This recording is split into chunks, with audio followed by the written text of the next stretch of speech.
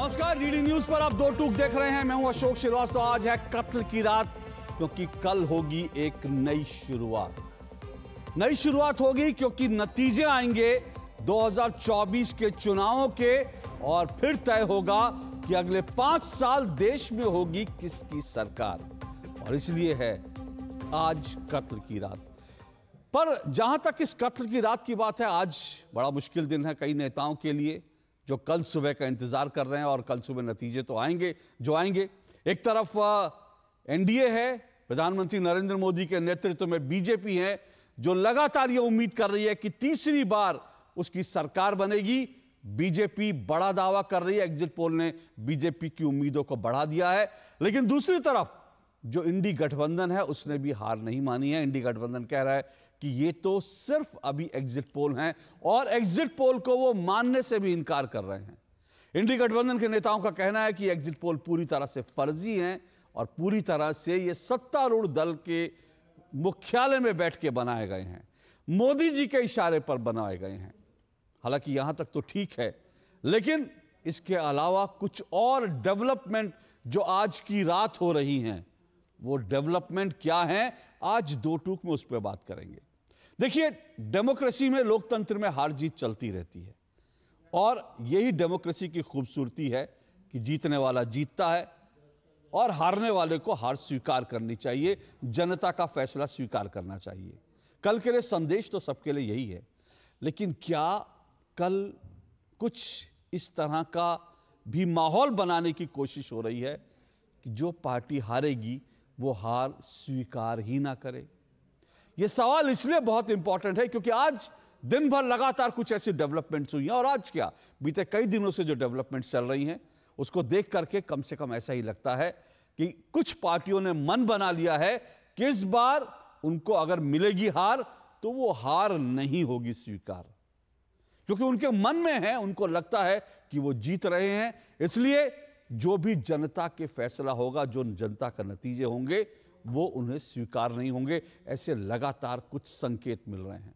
आज दो टूक में उन संकेतों पर भी बात करेंगे, नतीजों से पहले। जो माहौल है उस पर भी बात करेंगे। लेकिन इससे पहले मैं आगे बढ़ूं, आपको कुछ और बड़ी जानकारी दे देता हूँ। इन चुनावों को लेकर कुछ विस्फोटक जानकारियाँ सामने आ रही हैं। सबसे पहली विस्फोटक जानकारी यह है कि इन चुनावों को कुछ विदेशी ताकतों ने प्रभावित करने की कोशिश की है।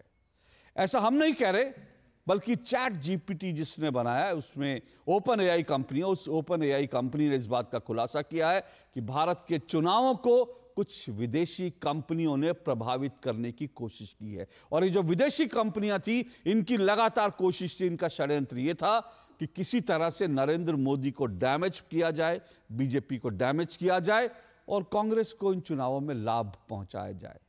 दूसरी एक खबर यह भी आई है कि बहुत हद तक जो यूट्यूब है यूट्यूब चैनल जो है, उस यूट्यूब चैनल को भी प्रभावित करने की कोशिश हुई है। इस मामले में यह मामला जो है अदालत तक भी पहुँचा है। क्या इसमें कितनी सच्चाई है? आज इसको जानने, समझने की कोशिश करेंगे। लेकिन यह तो बात हुई चुनाव से पहले की। अब आज क्या हो रहा है? आज यह हो रहा है कि एक तरफ़ जो जो एग्जिट पोल हैं, उनको पूरी तरह से फर्जी बताने की कोशिश हो रही है। दूसरी तरफ़ चुनाव आयोग की विश्वसनीयता पर, चुनाव आयोग के काम पर लगातार सवाल उठाए जा रहे हैं और एक ऐसा माहौल बनाया जा रहा है कि कल अगर फैसला हमारे हक में नहीं हुआ तो वो ज़रूर फैसला गलत होगा और वो चुनाव आयोग ने रिग किया होगा। इस तरह का माहौल बनाने की कोशिश हो रही है, बल्कि इससे भी दो कदम लोग आगे बढ़ गए हैं। और जो उत्तर प्रदेश पुलिस कह रही है कि उसके पास इस बात की पुख्ता सूचना है कि कुछ लोग माहौल को बिगाड़ने की कोशिश कर रहे हैं। इधर कांग्रेस ने अपने तमाम कार्यकर्ताओं को कहा है कि वो टेलीविज़न चैनलों पर नतीजे ना देखें, बल्कि पार्टी मुख्यालयों में जमा हो, भारी तादाद में जमा हो। और कुछ नेता धमकी भरे अंदाज में भी बात कर रहे हैं। ये सब जो हो रहा है ये क्यों हो रहा है? ये क्या दिखाता है? इन सब पर बात करेंगे। इन सब पे चर्चा होगी दो टूक में। इससे पहले आगे बढ़ूं, मैं आपको दिखा देता हूँ पहला रिएक्शन राहुल गांधी का क्या था? एग्जिट पोल को लेकर और चुनाव आयोग को लेकर किस तरह से चुनाव आयोग की विश्वसनीयता पर लगातार सवाल उठाने की, चुनाव आयोग की विश्वसनीयता को लगातार डैमेज करने की कोशिश हो रही है। इसको लेकर जो बयानबाजी चल रही है, वो भी सुनिए। और चुनाव आयोग ने आज किस तरह से खुलेआम इस बात का खुलासा किया कि हम क्या कर रहे हैं? जरा ये भी सुनिए।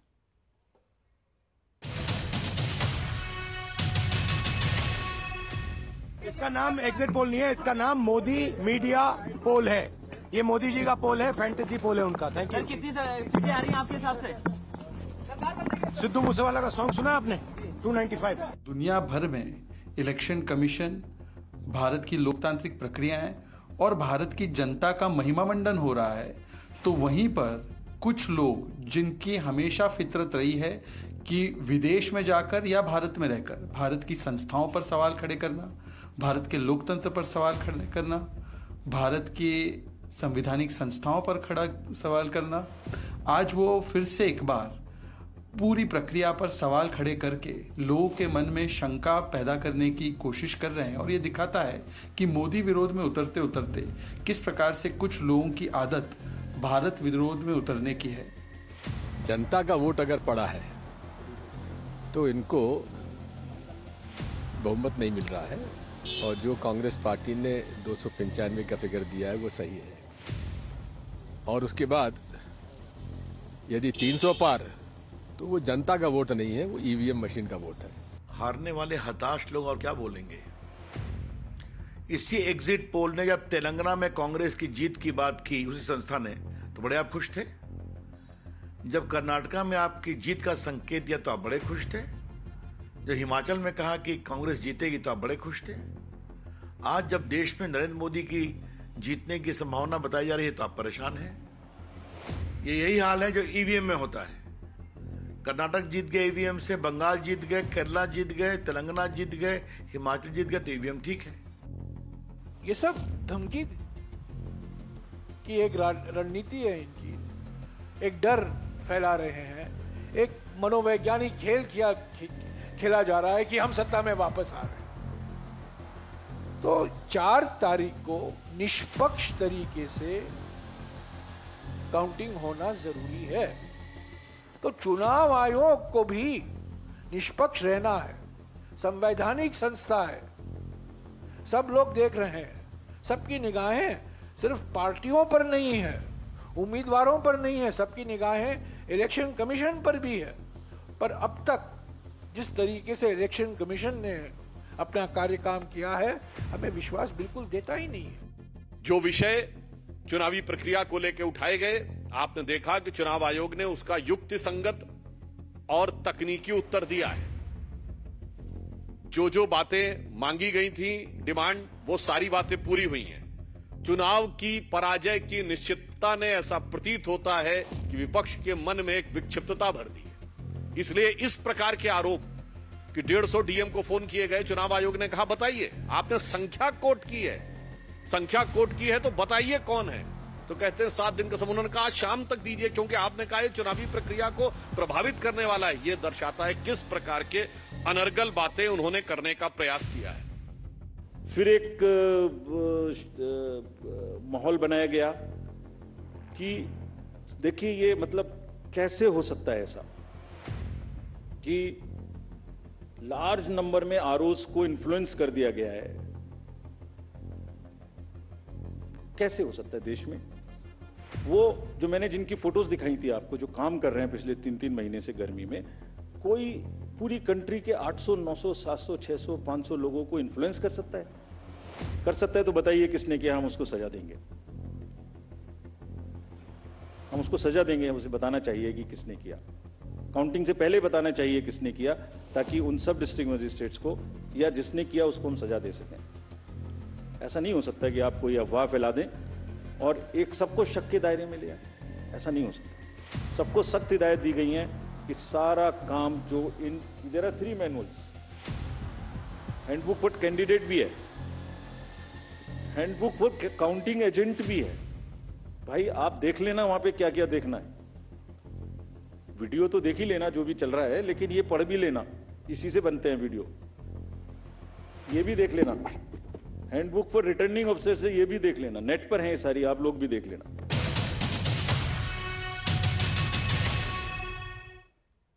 तो चुनाव आयुक्त ने साफ़ कहा कि जो हैंडबुक फॉर जो है, जो जितने पॉलिटिकल पार्टियों के एजेंट्स रहेंगे, उनके लिए है, वो क्या कुछ देखना चाहते हैं, सब कुछ देख सकते हैं।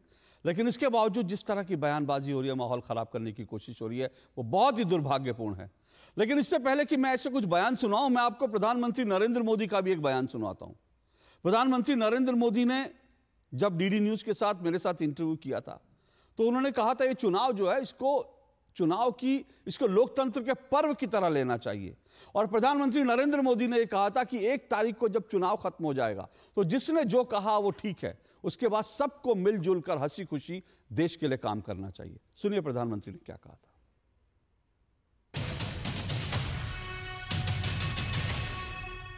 लोकतंत्र के उत्सव को एक लेटर एंड स्पिरिट में मनाए। बिना कटुता मनाए। और मैं तो कहूँगा कि एक जून के बाद हर कोई जिसने जो बोलना था बोल दिया जो कहना कहते हैं उसी प्यार से साथ मिल करके कंधे से कंधा मिला करके चले, देश की सेवा करें।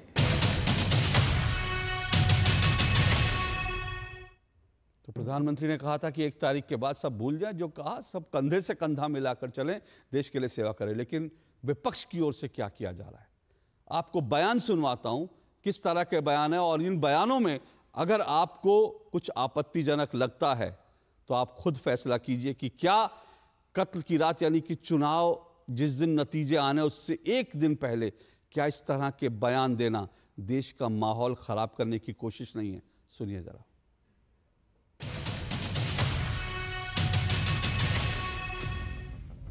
भाजपा की भ्रष्ट नीतियाँ बीते कल के लिए नहीं, बल्कि भविष्य में भी देश की रक्षा के लिए असमर्थ व अक्षम है। इसलिए जनता इस बार गांधी जी को याद करते हुए, करो या मरो की तरह आंदोलित हो गई है। और अपने और अपने देश के भविष्य बचाने के लिए नया स्वतंत्रता आंदोलन लड़ने के लिए तैयार बैठी है। देश का युवा फिर से कफन सर पर बाँध कर कह रहा है, मेरा रंग दे बसंती चोला। तमाम लोगों से फिर अपील करता हूँ, डीएम साहब से A R O R O सबसे गिनती में घालमेल की कोशिश मत करिएगा, क्योंकि चीज़ें फिर हमारे हाथ में नहीं रहेंगी। जनता तैयार बैठी हुई है। जनता तय करेगी क्या करना है। प्रतिकार का स्वरूप क्या होगा?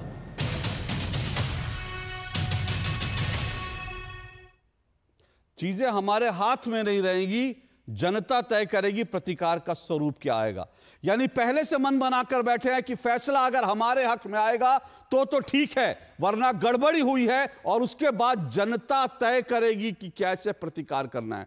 ये सब अगर धमकी नहीं है, ये सब अगर देश का माहौल खराब करने की कोशिश नहीं है तो फिर क्या है? चलिए, इन सारे सवालों पर चर्चा करेंगे। मेरे साथ आज जो लोग मौजूद हैं, आइए परिचय करवा दूँ। मेरे साथ आरपी सिंह जी जुड़ चुके हैं। बीजेपी के राष्ट्रीय प्रवक्ता आरपी सिंह जी, मेरे साथ दुष्यंत नागर जुड़े हैं। दुष्यंत नागर राजनीतिक विश्लेषक हैं और कांग्रेस समर्थक हैं। मेरे साथ प्रदीप भंडारी स्टूडियो में जुड़े हुए हैं।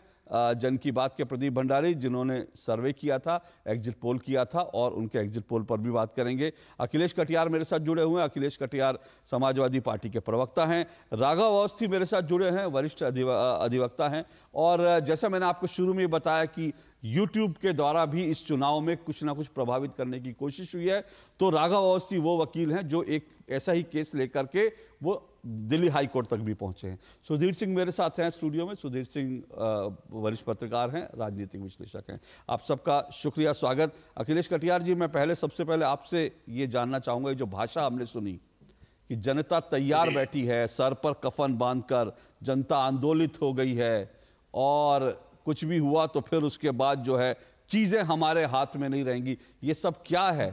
ये सब क्या कहना चाह रहे हैं? और इस भी जानकारी ये भी बता दूँ, उत्तर प्रदेश के डीजीपी ने कहा है कि कुछ फ़ोन कॉल्स पकड़ी गई हैं, जिसमें ये बताया जा रहा था, इतने आदमी इतने आदमी यहाँ पे मंगा बुला कर रखिए और कुछ भी करने की ज़रूरत पड़ सकती है। ये सब क्या है, सर?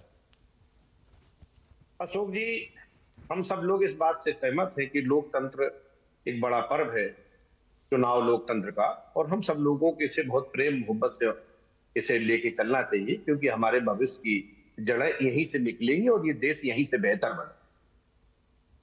और, जो चंडीगढ़ के साथ जो इस देश ने देखा, जो सूरत में जिस तरीके से वाक्य आए, और जो चुनाव के बाद जैसे एक छोटा सा एक उदाहरण दे दूँगा अशोक जी में कौशाम्बी ज़िले के अंदर जहाँ पे डिप्टी सीएम चुनाव हारे थे और पल्लवी पटेल चुनाव जीती थी, वहाँ पे चार पाँच घंटे की कसम कसी के बाद जब करीब हज़ारों की संख्या में कार्यकर्ता आ गए तब वहाँ के डीएम साहब ने पल्लवी पटेल को जीत का सर्टिफिकेट दिया तीन चार घंटे रुका हुआ इसको किस नियत से देखा गया? था हम सब लोग किसी, हम हर हिंसा का हम लोग विरोध करते हैं।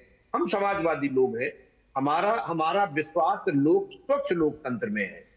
लेकिन अगर कोई इस देश के लोकतंत्र को कमज़ोर करने की कोशिश करेगा, लोकतंत्र को लूटने की कोशिश करेगा तो निश्चित तौर पे इस चीज़ को बर्दाश्त नहीं किया जाता। नहीं तो लोकतंत्र को मज़बूत मजबूती मिलती है जिस तरह के बयानबाजी आप लोगों के नेता कर रहे हैं उससे लोकतंत्र मज़बूत होता है। कि चीज़ें तो हमारे हाथ में नहीं रहेंगी लोग तैयार बैठे हैं प्रतिकार करने के लिए। मतलब आप लोग सीधा मन बढ़ाकर बैठे हैं आप एग्जिट पोल तो नहीं मान रहे ठीक है किसी को भी एग्जिट पोल मानने ना मानने का पूरा अधिकार है कटियार जी। और आज तो मैंने हाँ, सुनिए मेरी बात। एक प्रतिक्रिया राहुल गांधी की थी एक सोनिया गांधी की प्रतिक्रिया आ जाइए। दोनों में ज़मीन आसमान का अंतर है। मुझे लगता है कोई भी सुसंस्कृत नेता होगा तो वैसे ही रिएक्ट करेगा, जैसे सोनिया जी ने रिएक्ट किया। लेकिन राहुल जी ने जो रिएक्ट किया, वो भी देश के सामने है। तो एक तो यह है कि आप ठीक है, माने ना माने वो आपके ऊपर है। लेकिन अब तो आप ऐसा लग रहा है, ये मन बना के बैठे कि आपने जो दो सौ पंचानवे आंकड़ा कह दिया, वो नहीं होगा। तो फिर तो चुनाव रिगी है।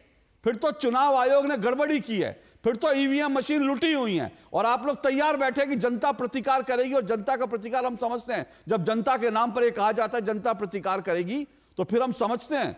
जो मनोज झा कह रहे थे उनकी भाषा और ऐसा नहीं है। मेरे पास ऐसे बहुत सारे समाज आ, आ, जो है आरजेडी के नेताओं के जो है उनके ट्वीट हैं जिसमें उन्होंने ये लिखा है कि कल समझ लेंगे हम।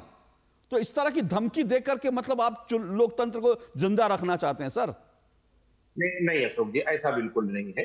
हिंसा किसी भी समस्या का समाधान नहीं हिंसा किसी भी समस्या का समाधान नहीं है। और लोकतंत्र में विश्वास रखने वाले लोगों की हमेशा निष्ठा वोट में होती है, ताकत से कहाँ किसी चीज़ का हल निकला है सुपर लेकिन क्या चंडीगढ़ के घटना पे कोई आवाज़ नहीं आनी चाहिए? आपको उस घटना की भी निंदा नहीं करनी चाहिए? उत्तर प्रदेश में जब बाई इलेक्शन हुआ था फूलपुर में, जहाँ पे और ये घटना जो है, नागेंद्र सिंह जीते थे वहाँ पे चार घंटे की मशक्कत के बाद नागेंद्र सिंह को सांसद जीतने का सर्टिफिकेट मिला था। तो ये जो घटनाएँ हैं क्या इन घटनाओं की निंदा नहीं होनी चाहिए नहीं नहीं निंदा क्यों नहीं होनी चाहिए? आप आप आप लोग सुप्रीम कोर्ट में गए ना जब चंडीगढ़ का हुआ था आप लोग सुप्रीम कोर्ट में गए इंसाफ मिला ना तो इंसाफ तो इस सिस्टम से इंसाफ तो आपको इस सिस्टम से मिलेगा ना। अगर संविधान में भरोसा है अगर संविधान में आप लोगों का भरोसा है तो अगर कुछ गलत होगा तो इंसाफ भी इसी सिस्टम से मिलेगा। जनता के प्रतिकार और सर पर कफन बांधने से नहीं मिलेगा। लोगों को लोगों को एक जगह इकट्ठा करने से नहीं मिलेगा। आपको इंसाफ मिलेगा इस सिस्टम से ही मिलेगा। लेकिन इस सिस्टम को तोड़कर आप लोग जो करना चाह रहे हैं वो मुझे समझ में नहीं आ रहा।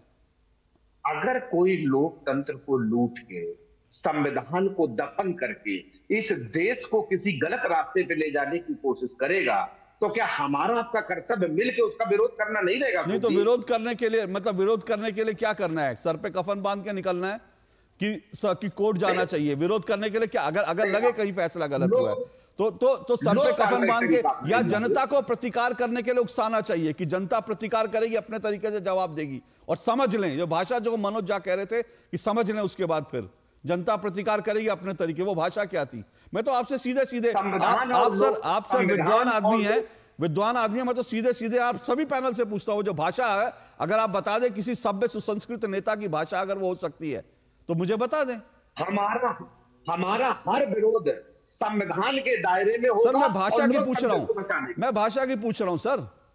जब आप कार्यकर्ताओं के बीच इस तरह की भाषा बोलते हैं तो उसके पास उसके बाद जानते हैं मैं फिर कह रहा हूँ आरजेडी कार्यकर्ताओं के मेरे पास ट्वीट्स हैं। उनकी भाषा देख लीजिए। जब एक नेता इस तरह की भाषा बोलता है तो जनता जो उनके कार्यकर्ता होते हैं वो क्या करने की तैयारी करते हैं वो हमें भी पता है। सर आप आप भी आप भी नेतागिरी में है जानते हैं मैं भी नेताओं को बहुत देर से देख रहा हूँ तो ये सब आप समझते हैं। लेकिन मैं सिर्फ़ ये कह रहा हूँ कि इस देश की इस देश को इस तरह से आप आ, इस, इस देश में इस तरह की जो चीज़ है ना कम से कम चुनावी हार की आशंका ठीक है हो सकता है आप लोग जीत जाए। भाई क्या दिक्कत है? अगर लोगों ने आपको वोट दिया होगा तो लोग आप जीतेंगे उसमें क्या समस्या है? लेकिन दुष्यंत लोकतंत्र को बचाने के लिए लोकतंत्र को सर बचाने लोकतंत्र को बचाने के लिए आपने लोकतंत्र को बचाने के लिए आपने जो करना था करा। आपने इस देश इस चुनाव में पूरा यही नारा लगाया। लोकतंत्र को बचाना है संविधान को बचाना है। जनता आपसे कन्विंस होगी तो आपको वोट देगी। नहीं कन्विंस होगी तो नहीं देगी। नहीं कन्विंस होगी तो नहीं देगी। और हार को हार को बड़प्पन के साथ स्वीकार करना चाहिए। उसमें क्या दिक्कत है? अगर अगर ऐसा थोड़ी है कि बीजेपी कभी हारी नहीं है ऐसा थोड़ी है कि आप लोग नहीं हारे। हर हर हर पार्टी हारती है जीतती है। अगर अगर वोटिंग सर अगर आप नहीं नहीं सुनिए सुनिए आप अगर मगर जो कर रहे हैं सर वो आप उन आशंकाओं के आधार पर उन पर कर रहे हैं जो आपने पहले से बना रखी हैं। आप लोगों ने पहले से तय कर रखा है कि ईवीएम सुनिए सर आप लोगों ने पहले से 41 बार 41 बार देश की अदालतों में आप लोग ईवीएम का मामला लेके गए 41 बार और 41 बार कोर्ट ने आप लोगों से कहा कि आप लोग एक भी सबूत नहीं ला पाए। हर बार आप सिर्फ़ आरोप लेकर आ जाते हैं 41 बार। सोचिए 41 बार अदालतों से आपको मुँह की खानी पड़ी। अगर एक बार एक एक सुप्रीम कोर्ट ने आपके पास एक सबूत था चंडीगढ़ का तो अदालत आपके साथ खड़ी थी लेकिन 41 बार आप ईवीएम को बदनाम करने गए चुनाव आयोग को बदनाम करने गए। ये जो ये जो जयराम रमेश ने सर बताइए ना जयराम रमेश ने कहा कि डेढ़ सौ लोगों को फ़ोन सबूत दीजिए ना। आप लोग आरोप लगाते हैं भाग जाते हैं माहौल खराब करते हैं देश का। सबूत दीजिए डेढ़ 150 लोगों का। अशोक जी जो जो चंडीगढ़ में हुआ फिर वो आप चंडीगढ़ फिर वही बात कर रहे हैं सब। मैं चंडीगढ़ भूल चंडीगढ़ में आपको इंसाफ मिला ना मैं आपसे पूछ रहा हूँ डेढ़ सौ लोगों को कॉल किया। इसका सबूत लाइए। ना हो इससे डर तो पैदा होता है ना अशोक जी डर पैदा होता है मतलब डेढ़ सौ लोगों को फ़ोन करने का अफवाह कहाँ से आई मुझे बताइए। उसका सबूत दीजिए। डरा अगर ये डर है कि हमारा वोट लूटा ये डर नहीं है सर। हमारे लोकतंत्र ये डर नहीं है सर। ये डर नहीं है। वहाँ पर चंडीगढ़ की तरह ईवीएम नहीं है। जो आप ईवीएम मांग रहे थे ना देश में वो चंडीगढ़ में ईवीएम थी जिसमें ठप्पे लग जाते थे और वो वही ईवीएम चाहते थे। यहाँ ईवीएम नहीं है। यहाँ यहाँ यहाँ यहाँ बैलेट पेपर नहीं है ईवीएम है। रुकिए एक मिनट दुष्यंत नागर जी मैं आपके पास आ रहा हूँ। दुष्यंत नागर जी ये कहाँ से आया कि डेढ़ सौ लोगों को फ़ोन किया गया? एक सबूत नहीं आ, मतलब रोज नया आरोप लगाना है सबूत एक भी नहीं देना। ये कौन सी राजनीति है? डेढ़ सौ डेढ़ सौ लोगों को फ़ोन किया होम मिनिस्टर ने फ़ोन किया। जब चुनाव आयोग ने कहा सबूत दो तो टाइम टाइम पिस नहीं ऐसा नहीं है। कोई ना कोई जानकारी उनको मिली होगी। अच्छा। श्री जयराम रमेश जी भी एक देश के वरिष्ठ मंत्री रह चुके हम्म। हैं। उनका बड़ा राजनीतिक अनुभव है। कोई हल्की बात वो नहीं करेंगे। तो सर और सबूत समय आने पे उन्होंने जी बिल्कुल सबूत अगर मांगा गया है अगर हल्की बात नहीं की तो उनके पास कोई सबूत होगा। आज चुनाव आयोग ने भरी प्रेस कॉन्फ्रेंस में कहा कि भाई हमें दीजिए हम कार्रवाई करेंगे। तो कार्रवाई आप लोग तो यही चाहते हैं ना कि कार्रवाई हो जिसने गलत किया तो फिर सबूत लाइए। देखिए देखिए भारत की संस्थाएँ मेरा मानना है, सशक्त हैं और स्वतंत्र हैं और बड़ी ईमानदारी से और निष्पक्षता के साथ में अपना कार्य करती हैं और करती रहेंगी और करती रही हैं। और न्याय की जनता को संस्थाओं से उम्मीद है और वो न्याय मिलेगा। और अगर किसी ने कोई भी नियम तोड़ा है तो उसके साथ बराबर का जो भी होगा कानूनी रूप से वो कार्रवाई की जाएगी। सर, आपने बिल्कुल ठीक कहा। भारत की संस्थाएँ जो हैं स्वतंत्र हैं और जिसने भी कोई अगर ऐसा किया, कानूनी कार्रवाई होगी।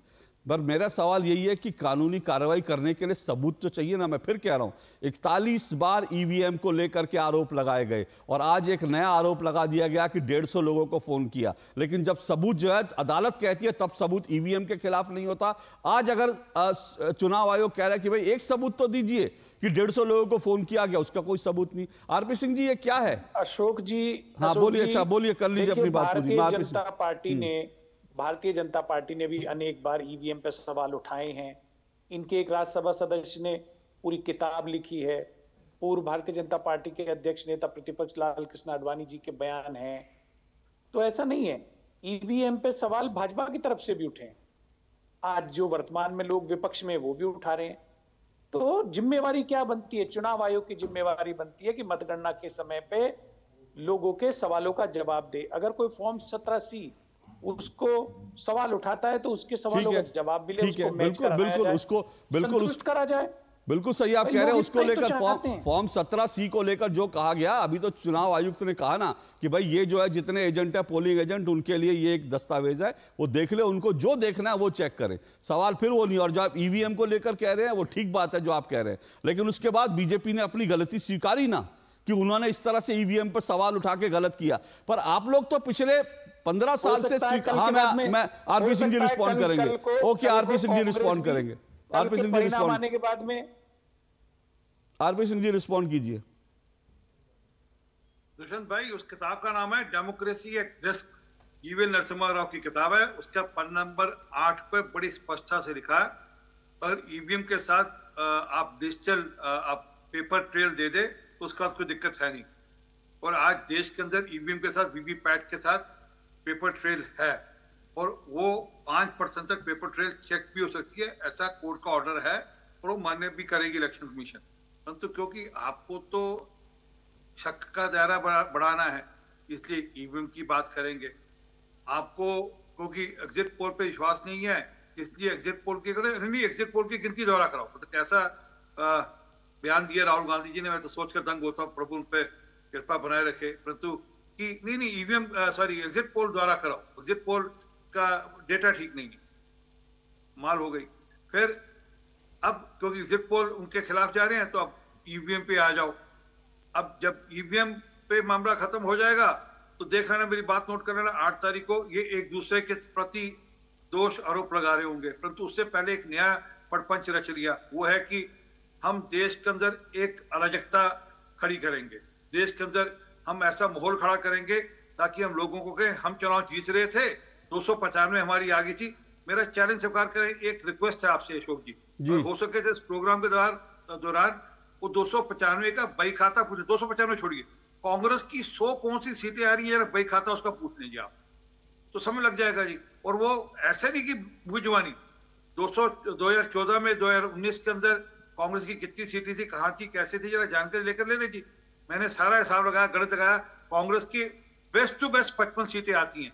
बेस्ट टू बेस्ट पचपन सीटें आती सर आप जो हिसाब तो, लगाते हैं सर आपका और राहुल जी का हिसाब अलग है। आप हिसाब लगाएँगे नहीं, नहीं, नहीं, आप सुनिए ना मैं मैं सिर्फ़ ये कह रहा हूँ आप हिसाब लगाएँगे आप सीट जाएँगे। राहुल गांधी का हिसाब सिंपल सा है खटाखट खटाखट खटाखट खटाखट। तो ऐसे खटाखट खटाखट खटाखट सौ बार करिए सौ सीटें आ गई कांग्रेस की। उसमें क्या दिक्कत है? खटाखट खटाखट खटाखट सीटें आ रही हैं। तो उसमें हिसाब किताब किस बात का करना है? सिद्धू मूसेवाला करता था खटाखट खटाखट हाँ तो वो भी उन्होंने कह दिया है दो सौ पचानवे सिद्धू मूसावाला के गाने से ही आया। सिद्धू मूसेवाला का स्टाइल था वो जो करता था खटाखट खटाखट। हम्म हम्म। जो मूल बात है कि चुनाव हार रहे हैं दिख रहा है चुनाव हार रहे हैं इससे नए नए प्रकार के पड़पंच बहाने तरीके ढूंढे हम चुनाव की पूरी प्रक्रिया पर प्रश्न लगाए। हम ये कोशिश करें कि ये चुनाव की पूरी प्रक्रिया को हम कोर्ट ये, ये देखना आस्ता आस्ता कोर्ट भी जाएँगे। ये नहीं प्रक्रिया गलत हो गई। इलेक्शन कमीशन ने ये नहीं किया इलेक्शन कमीशन ने ऐसा नहीं किया। इलेक्शन कमीशन को ऐसा करना चाहिए था। हमारी हमारी ये ये सुनवाई इलेक्शन कमीशन ने नहीं करी। ये सब उसकी तैयारी है और ये देश में अराजकता लाने की कोशिश कर रहे हैं। ठीक है जब इनसे आपने भी पूछा कि कौन से लोग हैं जिनको फ़ोन किया कोई जवाब नहीं। जब इलेक्शन कमीशन ने कहा भी आप जरा कृपा कर उनका नाम दे दीजिए या जिसके यहाँ से फ़ोन किया उसका एक कॉन्टेक्ट प्रूफ दे दीजिए। वो कोई सबूत मिलेगा नहीं। तो, तो क्योंकि जब कहते ना किसानी बिल्ली खम्बा नोचे ये यही सब करेंगे परंतु ये भूल रहे हैं कि देश की जनता ने एक सेकंड दे दीजिए एक हाँ, सेकंड दे दीजिए हाँ। देश की जनता ने भरपूर आशीर्वाद मोदी जी को दिया है और उसके चलते जितना मर्ज़ी कोशिश जितना मर्ज़ी कोशिश करे हम्म। देश की जनता इनके बहकावे में आने वाली नहीं देश की जनता इनके कहने पर चलने वाली नहीं वह जो उन्होंने मत डाला है उनको पता है कहाँ मत डाला है। चलिए वही तो मैं कह रहा हूँ कि जो लोगों ने मत डाला है वो तो मेरे एक वो तो एक एक मिनट सर एक मिनट मुझे एक ब्रेक पे जाना है मुझे एक ब्रेक पे जाना मैं आ रहा हूँ रुकिए। मुझे मुझे एक ब्रेक पे जाना है एक मिनट आऊँगा। मुझे मुझे एक ब्रेक पे जाना है। मैं कहूँगा देश की जनता ने जो भी वोट डाला वो तो कल पता चल जाएगा। लेकिन मैं फिर कह रहा हूँ कि बड़ी बात क्या है कि अगर कोर्ट में जाते हैं तो उसमें किसी को कोई आपत्ति नहीं होनी चाहिए। आपको कुछ प्रक्रिया में गलत लग रहा है आप उसको संवैधानिक तरीके से लोकतांत्रिक तरीके से उसका उसको अदालत में ले जाएँ चुनौती दें वो सब समझ में आता है। लेकिन जिस तरह की भड़काऊ भाषा का इस्तेमाल हो रहा है वो तो कम से कम समझ से परे की बात है। मैं आऊँगा दुष्यंत जी आपके पास लेकिन इस छोटे से ब्रेक के बाद।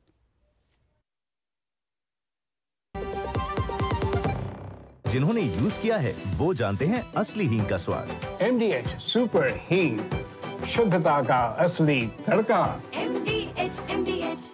अरे क्या हो गया? पूरा का पूरा गाँव यहाँ आ गया। भैया इसी हाथ से चारा खिलाते हो तभी तो आपके गाय भैंसों की ब्याज सबसे ज़्यादा है। पगले ये चमत्कार इस हाथ का नहीं हाथ में जो कपिला पशु आहार है उसका है। जो पशुओं की सेहत अच्छी रखता है और ब्याज भी बढ़ाता है। कपिला देश का नंबर वन पशु आहार। फूल वाला केटरिंग वाला बैंड वाला ये लो भाई। बैंड बजेगी पापा। अगर गड़बड़ हुई तो गए पैसे। अरे नहीं रे बैंक संभाल लेगा कैसे? मैंने पॉजिटिव पे सिस्टम पे रजिस्टर किया है। बैंक को चेक्स और बेनिफिशियरीज की जानकारी दे दी बैंक चेक करेगा जाँच करेगा। डिटेल्स मैच नहीं तो क्लियरेंस नहीं। हाँ। अच्छा लाइए मुझे दीजिए। फ़ोटो वाला लाइट वाला मंडप वाला। आरबीआई कहता है जानकार बनिए सतर्क रहिए। बिल्कुल सही कह रहे हैं। तेरी होने वाली मदर इन लोग कुछ ज़्यादा ही ट्रेडिशनल है। ट्रेडिशनल लोग ज़्यादा इमोशनल होते हैं। तो भाई साहब अब कोई किसी की लाइफ में आग नहीं लगा पाएगा। समर कूल जो हर दिल करे कबूल। डॉक्टर ऑर्थो ऑयल के रेगुलर मसाज से जॉइंट हेल्थी रहते हैं। और अगर प्रॉब्लम बहुत पुरानी है तो डॉक्टर ऑर्थो कैप्सूल्स साथ लेना ना भूलें। अब दर्द भी घुटने टेकेगा। अब छोलिया हो या लोबिया सफ़ेद चने या काले चने। सब कुछ मज़ेदार बने। Curiosity can take you to some out of the world places. Curious about this place? Scan this QR code before I take it off with my Seat tires. Seat, crafted for the curious. बात जब पीढ़ियों के लिए बनने वाले घर की हो तो ज़िम्मेदारी बड़ी हो जाती है। गैलेंट समझता है ये ज़िम्मेदारी। अब डबल एम रिम्स के साथ। गैलेंट एडवांस टीएमटी रीबार निर्माण का real hero delivery boy has picked your order अरे भाई पता है भूख लगी है। तीस मिनट का मैसेज नोटिफिकेशन आया था ना? मैसेज के सारे थोड़ी बैठ सकते हैं। कल आपने कुछ शेयर बेचे थे ना? हाँ, तो? तो चेक किया। मैसेज आया तो था। सिर्फ़ मैसेज काफ़ी नहीं है। आप शेयर मार्केट में कोई भी ट्रांजैक्शन करते हैं ना तो स्टॉक एक्सचेंज से आए एसएमएस या ईमेल को अपने डीमैट अकाउंट और बैंक स्टेटमेंट के साथ भी टैली कीजिए। बेटा भूख में ना दिमाग बंद हो जाता है। सोच कर समझ कर। इन्वेस्ट कर जीरा से प्यास बुझाए। डाइजेशन के लिए मस्त। शरीर में नमक पानी का बैलेंस बनाए। सिप सिप जीरा सिप जीरा सिप इंग्लिश का जीरा सिप जीरा सिप जीरा दो टुक आप देख रहे हैं। और दो टुक में हम चर्चा कर रहे हैं नतीजों से पहले क्या माहौल है, नतीजों से पहले क्या डेवलपमेंट उस सब पे बात कर रहे हैं। चुनाव परिणाम जो हैं, कल आएँगे। कल सुबह आठ बजे से वोटों की गिनती शुरू होगी और सुबह छः बजे से डीडी न्यूज़ आपको लाइव प्रसारण दिखाएगा, हमारे साथ जुड़िएगा। लेकिन इस वक्त जो है, हम चर्चाएँ कर रहे हैं चुनाव से पहले जो माहौल बना है या जो माहौल बनाने की कोशिश की जा रही है, उन सब पे चर्चा कर रहे हैं। मेरे साथ आरपी सिंह जी बीजेपी से जुड़े हुए हैं। दुष्यंत नगर राजनीतिक विश्लेषक हैं। प्रदीप भंडारी मेरे साथ जन की बात के फाउंडर हैं। और एग्जिट पोल उन्होंने भी किया था। अखिलेश कटियार हैं, समाजवादी पार्टी के प्रवक्ता राघव अवस्थी यहाँ जो वरिष्ठ अधिवक्ता हैं और सुधीर कुमार हैं मेरे साथ राजनीतिक विश्लेषक और वरिष्ठ पत्रकार हैं। प्रदीप भंडारी, सबसे पहले ये जो रिएक्शन जो राहुल जी का आया, सोनिया जी का आया, बाकी लोगों का आया, विपक्ष का आया कि भाई ये मोदी मीडिया का जो है, ये पूरा एग्जिट पोल है और आप लोगों ने जो है, बीजेपी मुख्यालय में बैठ के ये पूरा एग्जिट पोल बनाया। अशोक जी मैं ये कहना चाहता हूँ कि अगर आपको याद होगा जब तेलंगा तेलंगाना असेंबली इलेक्शंस आया था तब तेलंगाना असेंबली इलेक्शंस में हमारी खुद की पोलिंग एजेंसी ने कहा था कांग्रेस पार्टी पूर्ण बहुमत के साथ मेजोरिटी में सरकार बनाएगी। और कई बाकी एजेंसीज ने भी यही कहा था। उस वक्त कांग्रेस पार्टी के सीएम डेजिग्नेट और उस वक्त के चीफ और अब आज के current chief minister Revanth Reddy ji हर टेलीविज़न चैनल पे आए थे। और उन्होंने कहा था, मैं एग्जिट पोल्स का स्वागत करता हूँ और मैं चाहता हूँ कि मेरे पार्टी के कार्यकर्ता जोश में रहें पर ओवर कॉन्फिडेंस में ना रहें. तो मेरे हिसाब से राहुल गांधी जी को, रेवंत रेड्डी जी को फ़ोन लगाना चाहिए और पूछना चाहिए कि तब तुम एग्जिट पोल में विश्वास क्यों कर रहे थे? तो मेरे हिसाब से जो ये पूरा विरोध है अशोक जी, ये पूरा का पूरा विरोध राजनीतिक है। एग्जिट पोल्स तब अनाउंस होते हैं जब ऑलरेडी हर फेस का वोट हो चुका है। तो 66 करोड़ वोट डल चुके हैं उसके बाद एग्जिट पोल हुआ है। तो एग्जिट पोल से ऐसा नहीं है कि 66 करोड़ जनता इन्फ्लुएंस हो जाएगी। ये बड़ी, बहुत इमेच्योर बात है। अब दूसरी बात, अशोक जी, आप मेरे ट्विटर हैंडल को देख लीजिए। मैं आपको और आपके ज़रिए सबको पूरे देश को न्योता देना चाहता हूँ। आप पूरे के पूरे डेटा को देख लीजिए। आपको कॉन्स्टिट्युएंसी पता चल जाएगी, जहाँ पे मैं मौजूद हूँ। पिछले नौ सालों के अंदर 400 लोकसभा कॉन्स्टिट्युएंसी एक लाख किलोमीटर ट्रैवल कर चुका हूँ मेरे पास सेवेंटी डेटा रिसर्चर्स हैं। और 40 में से सैंतीस इलेक्शन हमने सही प्रिडिक्ट किए जिसमें आम आदमी पार्टी भी जब पंजाब के अंदर जीती थी हमने कहा था।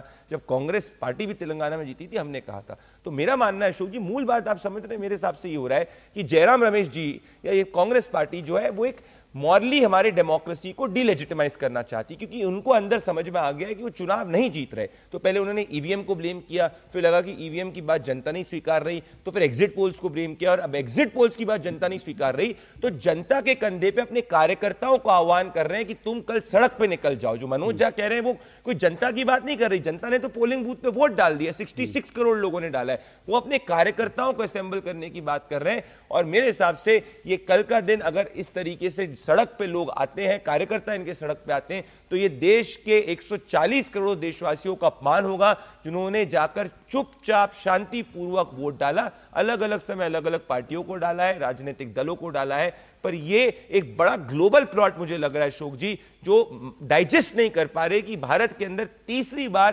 पूर्ण बहुमत से कोई गवर्नेंस के नाम पर प्रधानमंत्री बनने वाला और जनता ने वोट भी दे दिया इतनी विविधताओं के बावजूद। आप ग्लोबल प्लॉट क्यों कह रहे हैं?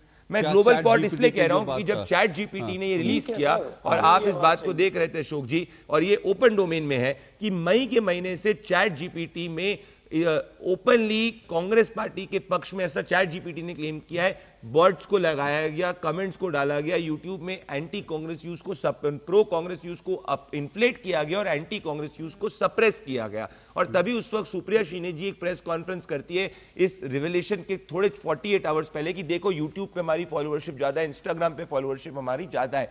तो मेरे हिसाब से ग्लोबली अगर आपको आप ग्लोबली एक बड़ी ताकतें लगी हैं जो कल हमारे पूरे डेमोक्रेटिक प्रोसेस को डीलेजिटिमाइज करेगी और ऐसी हेडलाइन विश्व मीडिया में डालेगी हिंदुस्तान ने डिक्टेटरशिप के लिए वोट किया हिंदुस्तान ने डेमोक्रेसी को फेल किया। तो ये बड़ा दुर्भाग्यपूर्ण है कि हमारे देश की विपक्षी पार्टी इस पूरे के पूरे एजेंडे के अंदर सम्मिलित होती हुई दिख रही है। हम्म, ये दुर्भाग्य अगर ये कल सड़क पे निकले तो। मुझे कुछ कहना है जी इसमें। हाँ, बोलिए सर बोलिए बोलिए। नहीं नहीं ये सम्मिलित नहीं हो रही। मेरा तो आगे कहना है आरोप है मेरा। ये वह करा रही है क्योंकि जो इसराइल में कमर्शियल कंपनी है वो बिना पैसे के काम नहीं करती। वो जो यहाँ पर इन्फ्लुएंस करती है सोशल मीडिया को वो पैसे लिए बिना फ्री में कोई काम नहीं करता। और वो कौन सी पॉलिटिकल पार्टीज़ हैं कौन लोग हैं यहाँ पर देश के अंदर जो ये सब कर रहे हैं इसकी जाँच ज़रूरी है। तो मैं अपेक्षा करूँगा कि होम मिनिस्ट्री इसकी जाँच कराएगी। और ये जो अब आज से और अगले कल तक ये दो तीन दिन में जो जारी करेंगे उसके पीछे भी बड़ा एजेंडा है। देश में एक नार्किज्म लाओ देश में अराजकता खड़ी करो और दुनिया में देश को बदनाम करो। और इसमें one, two, एक three, एक. उदाहरण देता हूँ आपको मैं। पाकिस्तान चाइना की डीप स्टेट इसमें लगी हुई है। नहीं तो फवाद चौधरी के बयान नहीं आते। फवाद चौधरी की हिम्मत नहीं कि वो बयान दे दे। फवाद चौधरी जो वहाँ की एजेंसी चाहती है जहाँ रिमोट कंट्रोल से चाइना उनको चाहता है वो बयान देते होंगे। और फवाद चौधरी ने क्या कहा था? मैं चाहता हूँ कि यहाँ पर राहुल गांधी प्रधानमंत्री बने। वह यहाँ के मुसलमानों को इशारा कर रहे थे। वह यहाँ पर वोटर्स को इशारा कर रहे थे कि आपने किसके पक्ष में वोट डालना है। ये बड़ा षडयंत्र रचा जा रहा है देश के अंदर। ओके ये जो संकेत मिल रहा है ये वास्तव में खतरनाक है इसीलिए मैं ये मुद्दा बड़ी गंभीरता से उठा रहा हूँ। ये हाँ, ए, ए, एक एक मिनट प्रदीप आप कुछ कहना चाहे? उससे पहले मैं कांग्रेस की जो दो सीटों की बात थी ना सुधीर जी आप भी लगा लगभग सारे सीटों का आकलन कर रहे हैं। और आपको क्या लगता है दो सौ पंचानवे का जो आंकड़ा है, ये कहाँ से कांग्रेस ने लिया हो क्या ज़मीन से कोई इसका संपर्क है? और जो अखिलेश जी जो बार बार कह रहे हैं यहाँ पर, जो जिस तरह की उन्होंने कहा कि भाई ये ये लोग मान के बैठे हैं कि समाजवादी पार्टी यूपी में जीत रही है। जमीनी चीज़, आपने उत्तर प्रदेश की राजनीति पर, जमीनी ग्राउंड पर बहुत काम किया है। आपको क्या लगता है वास्तव में सिचुएशन ऐसी है? ऐसी कुछ, मैंने कम से कम पचास लोकसभा क्षेत्र यूपी में घूमा हूँ। और देश भर में कम से कम सौ लोकसभा क्षेत्रों का मैंने दौरा किया। लेकिन कहीं भी नहीं लगा कि कांग्रेस पार्टी पूरे हिंदुस्तान में या इंडी गठबंधन उनका 120 130 से ऊपर जा रही है। रही बात उत्तर प्रदेश की तो उत्तर प्रदेश में 15 से 20 ऐसी लोकसभाएँ जहाँ पे समाजवादी पार्टी अच्छी टक्कर में है। लेकिन आप 20 80 में 20 लोकसभा जीत के तो सरकार नहीं बना सकते। तो यही कमोवेश पूरे देश में यही स्थिति है। तो फिर ये जो माहौल बनाने की कोशिश चल रही है। ये माहौल बनाने की कोशिश सिर्फ़ इसलिए कि अपने कार्यकर्ताओं को खुश करने के अलावा कुछ भी नहीं है। नहीं मुझे लगता है कार्यकर्ताओं का मनोबल बनाए रखना चाहिए पॉलिटिकल पार्टियों को उसमें कोई हर्ज नहीं है चुनाव से। लेकिन उन, उनको इस तरह से जो है फोर्स नहीं करना चाहिए। लेकिन राघव अवस्थी भी मेरे साथ हैं। राघव मैं ये जानना चाहता हूँ चैट जीपीटी को लेकर एक ग्लोबल एक पूरा जो इस एजेंडा है उसका ज़िक्र जो है वो प्रदीप ने भी किया। कुछ बातों का ज़िक्र मैंने भी किया। खबरें ये भी आ रही हैं कि यूट्यूब के माध्यम से भी कांग्रेस ने चुनाव जीतने की कोशिश की है। कांग्रेस के जो समर्थक यूट्यूबर्स थे, उनको अचानक जो है बड़ी बड़ी रीच दी जा रही हैं और लोग, और जो बाकी जो यूट्यूबर्स हैं, उनकी रीच को दबाया जा रहा है। यह भी पूरा का पूरा मामला, और शायद आप ऐसे ही मामला लेकर हाई कोर्ट तक पहुँचे हैं। क्या ऐसा संभव है? क्योंकि कुछ लोग कह रहे हैं कि इस तरह की चीज़ें संभव नहीं है। मैं बताता हूँ ये कैसे संभव है आपको मैं उदाहरण देके समझाता हूँ और हमारा जो केस है वो केवल यूट्यूब के परिप्रेक्ष्य में है हम्म। और आपने सुना होगा बहुत सारे यूट्यूबर थे ध्रुव राठी वगैरह जिनके नाम जो है इलेक्शन में बहुत चर्चा में रहे थे हम्म। जिनको काफ़ी प्रमोट किया गया तो कोई भी चाहे यूट्यूब हो या एक्स हो या फेसबुक हो उनको एक इंटरमीडियरी प्रोटेक्शन मिलता है जो भारत में भी आईटी एक्ट के अंतर्गत मिलता है वो बेसिकली ये कहता है कि आपके प्लेटफॉर्म पे कोई भी कुछ डालता है तो उस व्यक्ति की जवाबदेही होती है। प्लेटफॉर्म की पर से जवाबदेही नहीं होती अनलेस एंड अनटिल वो दो रूल्स हैं थ्री वन बी और फोर क्लॉज एट आपके इंटरमीडियरी रूल्स में। मतलब कुछ अगर ऑप्सीन कंटेंट ना हो या चाइल्ड पोर्नोग्राफी जैसी कोई चीज़ ना हो तो आपकी कोई लाइबिलिटी बनती नहीं। लेकिन यूट्यूब के परिप्रेक्ष्य में हम देखते हैं कि ऐसा होता है बहुत बार कि कुछ चैनल होते हैं उनको जो है बैन कर दिया जाता है शेडो बैन कर दिया जाता है स्ट्राइक कर दी जाती है। या आप अपना जब यूट्यूब खोलते हैं आपका जो होम पेज होता है तो उस पर आप देखते हैं कि कोई चैनल है उसको बहुत एग्रेसिवली प्रमोट किया जा रहा है। या जैसे ध्रुव राठिया ऐसा कोई चैनल आपके सामने जो है यूट्यूब पे आके खड़ा हो जाए तो ऑफकोर्स आपके सामने वो आ जाएगा तो आप उस पर क्लिक करेंगे। लेकिन अगर जो है यूट्यूब और ऐसी जो संस्थाएँ उनको इंटरमीडियरी लाइबिलिटी से इंटरमीडियरी प्रोटेक्शन चाहिए तो फिर वो ऐसा नहीं कर सकते। लेकिन अब हम आते हैं कि वो ऐसा क्यों कर रहे हैं उसको समझने का प्रयास करते हैं।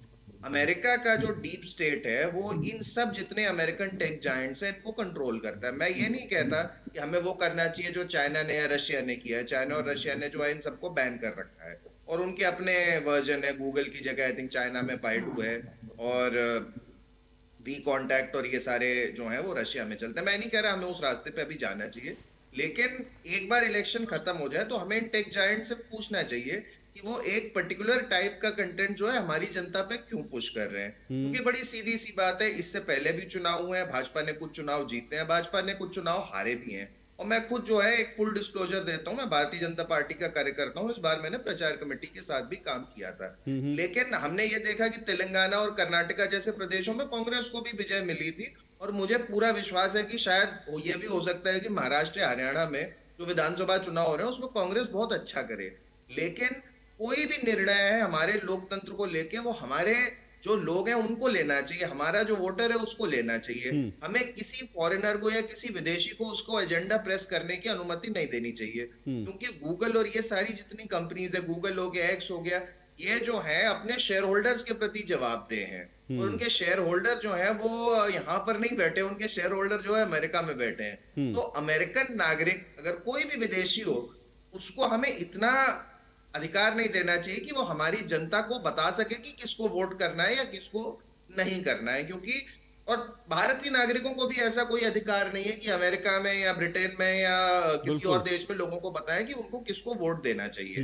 तो ये जो संप्रभुता वाली बात है सॉवरेनिटी वाली बात है वो बहुत महत्वपूर्ण है। और हमारी सॉवरेनिटी संप्रभुता को कोई विदेशी जो है अगर उसको नीचा दिखाए तो भारतीय जनता पार्टी कांग्रेस छोड़िए पूरे देश के हर एक नागरिक का कर्तव्य है कि वो उसका विरोध करे। बिल्कुल ठीक बात है हर एक नागरिक नागरिक करता हुआ मैं इसी सवाल को लेकर दुष्यंत जी आपके पास आऊँगा। आप बीच में दिख नहीं रहे थे नहीं तो मैं आपके पास आता। एक छोटा सा ब्रेक ले रहा हूँ। ब्रेक के बाद मैं इस बात को बैठाऊँगा जो राघव अवस्थी ने उठाया इंपॉर्टेंट मुद्दा प्रदीप आऊँगा इस छोटे से ब्रेक के बाद। बढ़िया है प्राकृतिक हल्दी मिर्ची धनिया? नहीं मिर्ची धनिया हल्दी एम डी एच तुम्हें पता है इन्वेस्टर्स के लिए एक इन्वेस्टर प्रोटेक्शन फंड होता है आईपीएफ लेकिन अगर तुम्हारा ट्रेड एक्सचेंज पर एग्जीक्यूट नहीं हुआ या फिर कोई गारंटीड रिटर्न्स वाली स्कीम है तो ये आईपीएफ आपकी मदद नहीं कर सकता है। और अगर आपका ब्रोकर ही डिफॉल्टर बन जाए तो? तो फिर आईपीएफ आपको कॉम्पेंसेशन दिला सकता है। कहाँ से सीखा? एनएसई की साइट पर। सोच कर समझ कर इन्वेस्ट कर। Curiosity can take you to some out of the world places. Curious about this place? Scan this QR code before I take it off with my Seat tires. Seat. Crafted for the curious. अरे वाह legend की bat इससे तो मैं खेलूंगा future batting legend है। इसमें जिसका नाम लिखा है बैट उसी को मिलेगी। अरे यार। देखा अगर इस पे मेरा नाम नहीं लिखा होता तो कितनी दिक्कत हो जाती। इसलिए आरबीआई कहता है बैंक अकाउंट हो या बैंक लॉकर उसमें नॉमिनी का नाम ज़रूर दर्ज करें ताकि आपकी जमा पूंजी उसी को मिले जिसे आपने नामित किया है। आरबीआई कहता है जानकार बनिए सतर्क रहिए। एमडीएच का किचन किंग किचन में हो तो हम सब कुछ बना सकते हैं। बैंगन का भरता आलू गोभी भिंडी मसाला और भी बहुत कुछ। बात जब पीढ़ियों के लिए बनने वाले घर की हो तो ज़िम्मेदारी बड़ी हो जाती है। गैलेंट समझता है ये ज़िम्मेदारी। अब डबल एम रिब्स के साथ। गैलेंट एडवांस टीएमटी रीबार निर्माण का रियल हीरो घुटना कंधा या कमर चाहे जैसा हो दर्द। डॉक्टर ऑर्थो आपको देता है दर्द से पूरी आज़ादी। ये कोई टेम्पररी पेन किलर नहीं। आयुर्वेदिक औषधि है।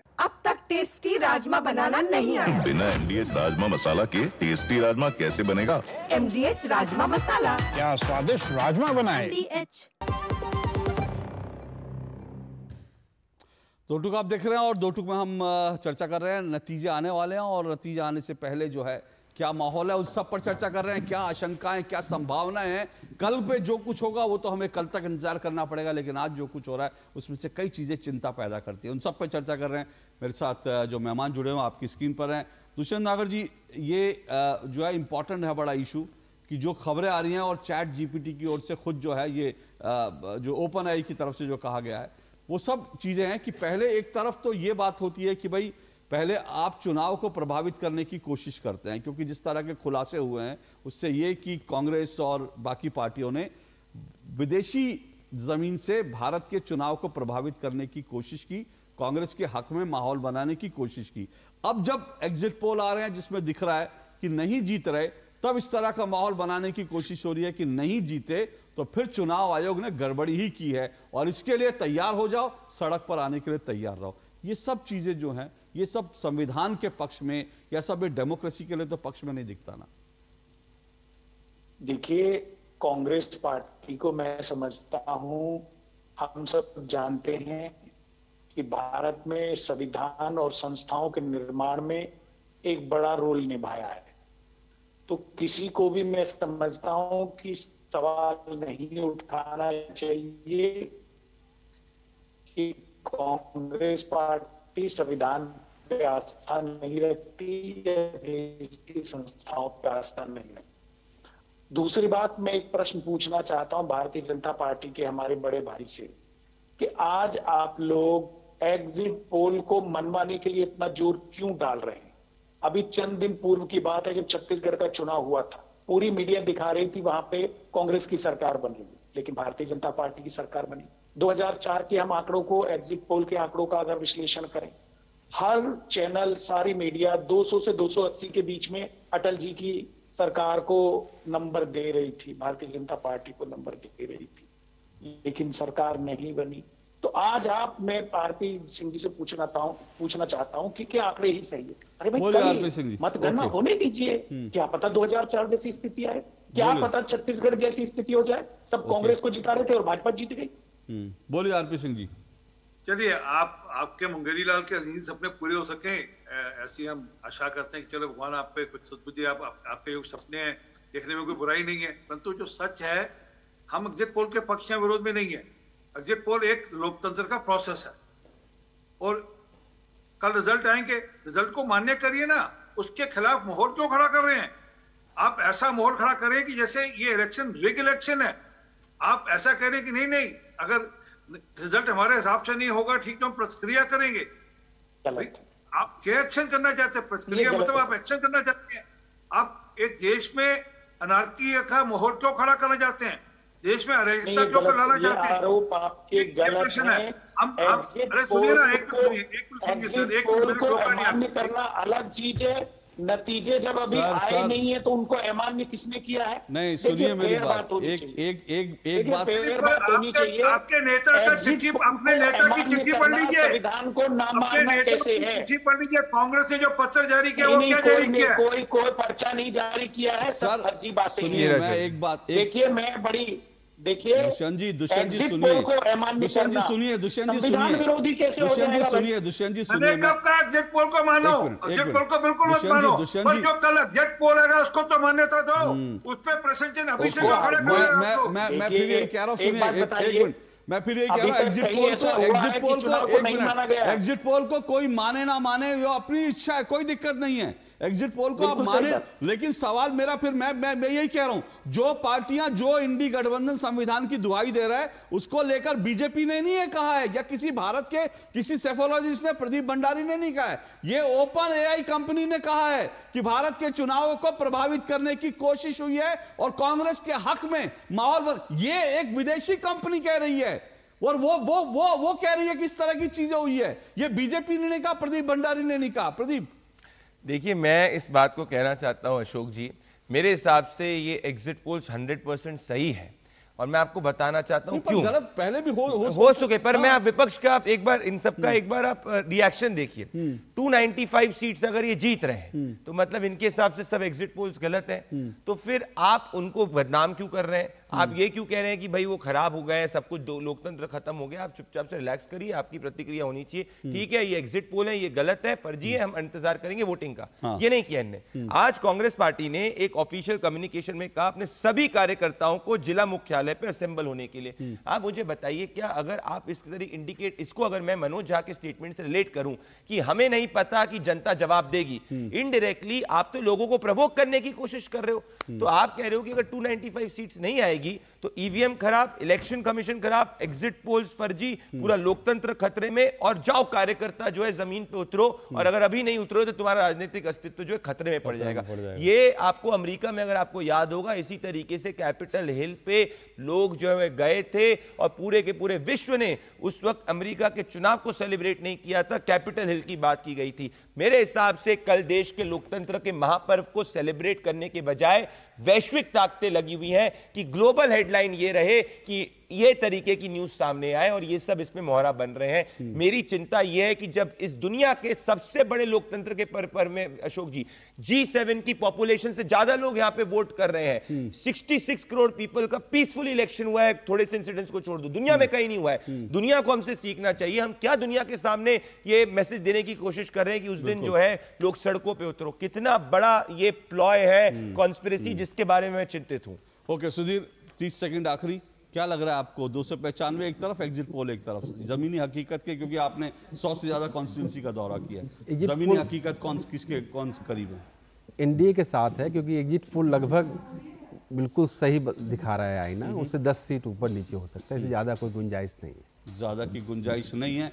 लेकिन फिर कह रहा हूँ कि एग्जिट पोल सही गलत ये तो कल फैसला हो जाएगा पर जो भी फैसला हो उसको स्वीकार करना चाहिए बजाय इसके किस तरह की धमकी देना इस तरह से माहौल खराब करना ये सब चीज़ें जो है ये नहीं होनी चाहिए क्योंकि आपको हार मिले जीत मिले आपको सहज स्वीकार करना चाहिए। अगर आपको लगता है कुछ गड़बड़ है तो आपके पास कोर्ट जाने का रास्ता खुला है लेकिन अपने कार्यकर्ताओं को बुलाना जुटाना ये भाषा बोलना कि लोग सड़क पे आ जाएँगे हमारे हाथ से चीज़ें चली जाएँगी इस तरह की भाषा बोलकर लोग मैसेज कर रहे हैं हाँ। अशोक जी कई कई लोग मैसेज कर रहे हैं कल कुछ दंगा तो नहीं हो जाएगा कल कुछ खराबी तो नहीं होगी लोग डर रहे हैं। कह रहा हूँ मेरे पास मेरे पास ऐसे बहुत से संदेश है। लोगों को जिस तरह से धमकाया जा रहा है डराया जा रहा है जो माहौल बनाया जा रहा है वो डेमोक्रेसी के पक्षधर लोग कम से कम ऐसा नहीं कर सकते। कम से कम डेमोक्रेसी और संविधान की बात करने वाले लोग ऐसा नहीं कर सकते। लेकिन फ़िलहाल कल तक इंतज़ार करेंगे। कल सुबह छह बजे ज़रूर जुड़िएगा। डीडी न्यूज़ का विशेष जो प्रसारण है सुबह छह बजे से शुरू होगा और सबसे सटीक नतीजे आपको डीडी न्यूज़ पर मिलेंगे। फ़िलहाल आज के लिए आप सभी का शुक्रिया। नमस्कार।